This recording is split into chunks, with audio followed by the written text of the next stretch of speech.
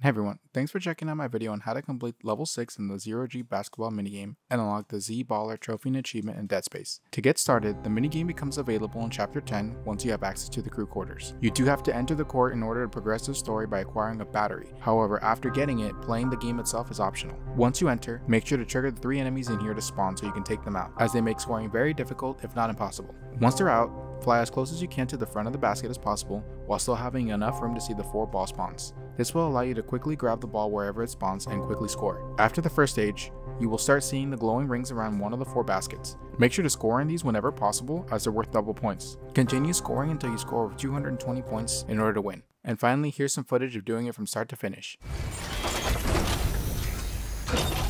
Entering zero gravity.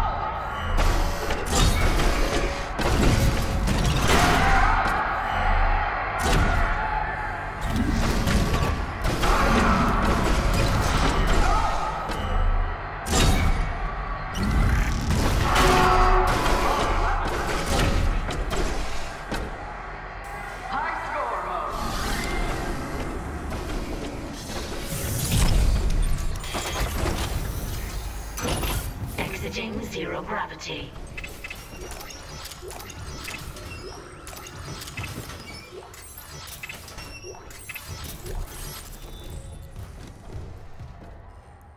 If you found this video helpful, then consider giving it a like as it really helps on my channel. Thanks for watching and have a great day.